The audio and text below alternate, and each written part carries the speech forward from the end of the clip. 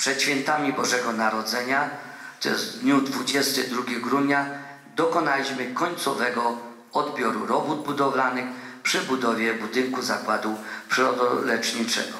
Wykonawca robót usunął wady fizyczne i usterki ujawnione w toku wcześniej prowadzonych czynności odbiorowych. Wykonawca dokonał również próbnego rozruchu technologicznego. Te okoliczności powodują, że możemy przystąpić do formalnego zgłoszenia obiektu do użytkowania. W pierwszej kolejności dokonano więc powiadomienia Państwowej Inspekcji Sanitarnej i Państwowej Straży Pożarnej o zakończeniu budowy budynku i zamiarze przystąpienia do jego użytkowania. Organy te według swojej właściwości mają 14-dniowy termin na wyrażenie stanowiska co do możliwości użytkowania budynku. Mogą wówczas zgłosić uwagi bądź sprzeciwy. Pozytywne stanowisko tych organów otwiera nam drogę ku temu, aby w kolejnym etapie złożyć wniosek do Powiatowego Inspektora Nadzoru Budowlanego o udzielenie pozwolenia na użytkowanie. Uzyskanie takiego pozwolenia kończy formalnie ten etap procesu inwestycyjnego. Należy mieć na uwadze, że ze względu na brak kompletnego połączenia budynku z odwiertem do wody termalnej, budynek nie będzie mógł jeszcze działać na bazie solanki. To jednak nie przeszkadza, aby już teraz rozpocząć działalność, gdyż jego przewidziany od samego początku budowy program funkcjonalno-użytkowy nie ogranicza się tylko i wyłącznie do bazowania na wodzie termalnej. Jest tam możliwość przeprowadzenia różnych form rekreacji i szeregów zabiegów leczniczych, w tym masaże, hydromasaże, spośródni masaże poprzez wirówki kończyn dolnych i górnych, wanny i hydromasaże, zabierze, zabiegi w komorze, zawijania borowinowe i inhalacje. Przewidziano tam również gabinety, jak lekarski i kosmetyczny. Do wspomnianych zabiegów nie ma konieczności używania wody solankowej. Mogą to być w pełni realizowane zabiegi na bazie zwykłej wody. Dziękuję za uwagę.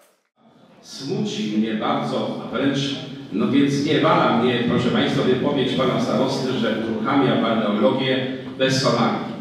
No proszę Państwa, no, to jest konsekwencja zaniedbania strasznego, albowiem, proszę Państwa, dopływ solanki to powinno być, to powinno być, proszę Państwa, oczko w głowie inwestycji.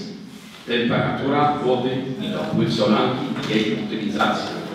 Proszę Państwa, e, do czego zmierzam? Do tego zmierzam przy, przy zwiększeniu kwoty dług do 63 milionów, przy zwiększeniu wydatków na administrację znacznych i przy tak wielkiej, niewiadomej przy realizacji tej balneologii, proszę Państwa, po, powierzanie e, tej osobie tych osób, którzy do dzisiaj nie dogadali się, nie wskazali winnego tych zaniedbań, jest wielkim dla nas ryzykiem. My, proszę Państwa, reprezentujemy społeczność i w naszych rękach jest budżet powiatu wpływający na stóp kilkadziesiąt milionów złotych. My nie jesteśmy hosztaplerami, proszę Państwa, nie gramy w karty za kradzione pieniądze, tylko realizujemy, proszę Państwa, wydatki naszych podatków i musimy na, każdą, na każdy grosz patrzeć. Tu pan starosta bardzo optymistycznie dzisiaj podchodzi do sprawy, że od 1 do końca stycznia i ruszamy z tym. No, ja bym skorzystał ze słownika, prawda, ewentualnie, ewentualnie definicję balneologii, prawda, bo nie jestem w stanie, nie jestem znawcą tego wyjaśnić, ale, ale tak myślę, że tu raczej chodzi o to, żeby wykorzystać jakieś naturalne te źródła, w tym momencie wodę solankową, prawda, czyli tą solankę. No i jeżeli ich nie będzie, no to trudno to nazwać, to nazwać balneologią.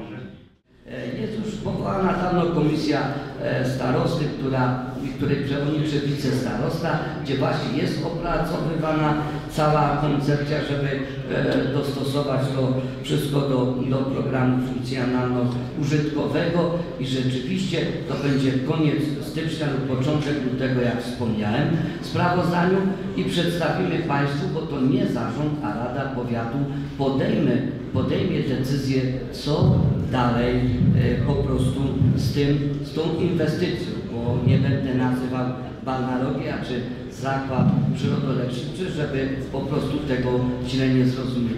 Jest możliwość i balneologii, i zakładu przyrodoleczniczego, bo tak jak mówię, zakład po wszystkich odbiorach skutecznych, zakład może funkcjonować bez solanki, natomiast solanka będzie dodatkową atrakcją leczniczą.